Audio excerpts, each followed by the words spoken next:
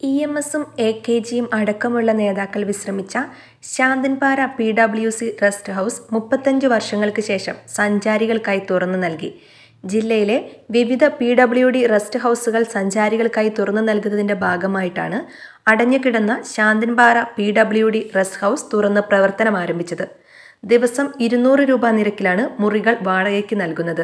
E M എസും A K ജിയും അടക്കമുള്ള പഴയകാല നേതാക്കന്മാരും ഉന്നത ഉദ്യോഗസ്ഥരും വിശ്രമിക്കുകയും താമസിക്കുകയും ചെയ്തിരുന്ന P W D rest house മുപ്പത്തി അഞ്ചിൽ പരം വർഷങ്ങളായി അടഞ്ഞുകിടക്കുകയായിരുന്നു. അറ്റകുറ്റപ്പണി ചെയ്ത് ദിവസ വാടകയ്ക്ക് നൽകണമെന്ന് നാട്ടുകാർ നിരന്തരം ആവശ്യപ്പെട്ടതിനെ തുടർന്ന് ലക്ഷങ്ങൾ മുടക്കി പുനരുദ്ധരിച്ചു. പിന്നീട് ചുറ്റുമതിൽ നിർമ്മിക്കുകയും മുറ്റം ടൈൽ ചെയ്യുകയും ചെയ്തു.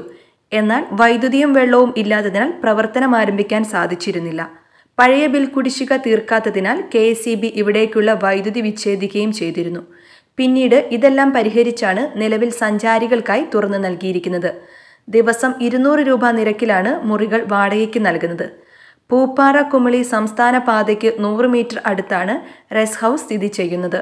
മൂന്നാർ കുമ്മിളി തേക്കടി ഭാഗങ്ങളിലേക്ക് ഇതുവഴി കടന്നു പോകുന്ന വി ഐ പികൾക്കും വിനോദസഞ്ചാരികൾക്കും മികച്ചൊരു വിശ്രമ കേന്ദ്രമാണ് Santhanpara P W D rest house